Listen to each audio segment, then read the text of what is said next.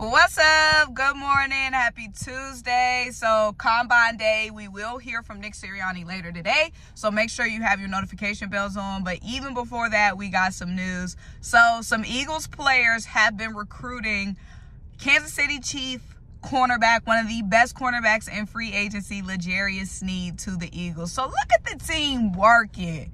Look at the team working. I like that. I like that. So, who has been recruiting him? It has been Milton Williams and Boston Scott. Those are the two players that have been reported. They played with L'Jarius Sneed in college at Louisiana Tech. So all three small school guys who came into, well, L'Jarius came and popped off. Boston Scott became an Eagles favorite.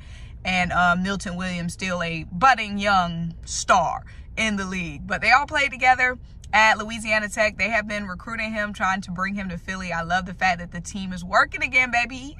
working for the common good, not just being messy. They're not just being messy. They're working to bring a star here. So hopefully the recruiting is going to work. I would love L'Jarius Sneed here. I would love him in our secondary alongside Darius Slay. Sneed and Slay, baby. I like it. I like it. I like it. I like it.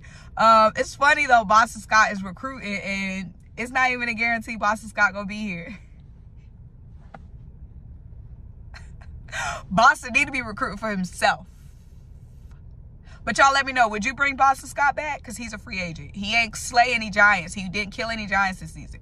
Will you bring Boston Scott back? And what do you think about L'Jarius Sneed?